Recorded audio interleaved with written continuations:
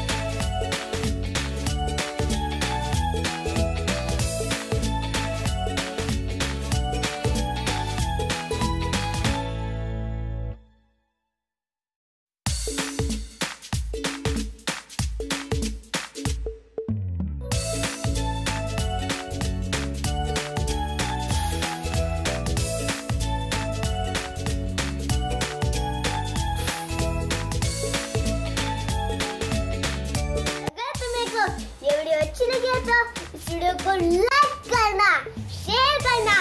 subscribe करना बिल्कुल भी मत भूलना